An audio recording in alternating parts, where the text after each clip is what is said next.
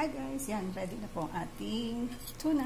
Hiniwaan lang po natin siya ng white onion. Lalagyan po natin ng black pepper. At syempre, iodized salt. At hindi po mawawala syempre ang mayonnaise. Ito na po ang ating bread. At higit sa lahat, may sugar, red, brown sugar. Let's start na po. Yan guys, ilagay na natin ng mga ricado. Susunod na po natin ang mayonnaise guys.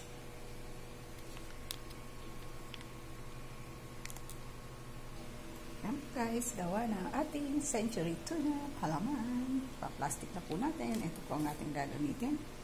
Ito na po ang ating finished product guys. Isang masarap na century tuna palaman. Yan guys, sample natin at ang ating cover. Yan guys, nakakadalawa na tayo. At ito pa po, ibabalot natin. Please subscribe and like po sa mga lutuin bahay guys. Ingat po kayo.